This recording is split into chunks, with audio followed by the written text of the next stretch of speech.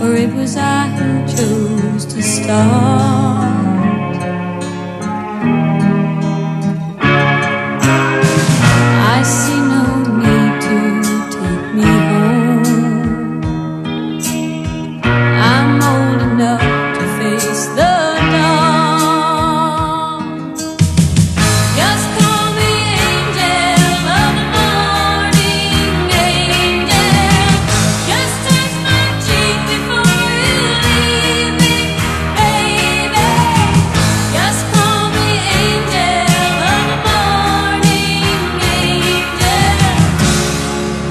Slowly